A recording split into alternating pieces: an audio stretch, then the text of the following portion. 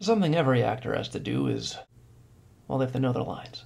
So, what do you have to do? You need to get a few things. You need a script. You need a highlighter. Yeah, you really can't go much further without a script and a highlighter. So, now I get to do the absolute fun part. Here we go.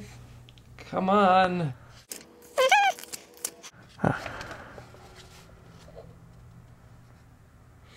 Highlighting my lines.